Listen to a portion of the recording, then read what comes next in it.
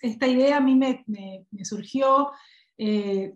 básicamente de ver eh, muchas personas como yo que se habían ido de su país y, estas, em, esto que recibían, digamos, de su lugar de, su lugar de origen, eh, llámese encomienda o cartas, a veces visitas inesperadas, todo eso confluye ahí en la novela, como una manera casi irónica de,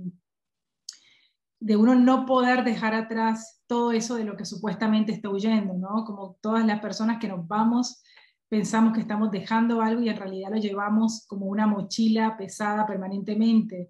Y un poco el, conflicto de esta, de esta novela, de esta narradora, pasa por eso, por no poder dejar atrás todo eso, eh, llámese origen, familia, madre, eh, lo que sea, taras de infancia, eh, con lo que uno viene y que finalmente es este gran concepto que la narradora cuestiona constantemente en la novela, que es el parentesco.